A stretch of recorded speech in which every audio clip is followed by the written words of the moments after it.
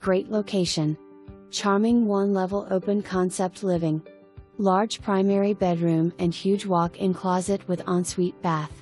Large living room, dining room, kitchen combo. Two more bedrooms and a full bath. This home has so many closets. Flat backyard with covered patio and wooded view. Two car garage. This was originally the model home so it has many upgrades, including extensive crown molding. For more information, review the details below.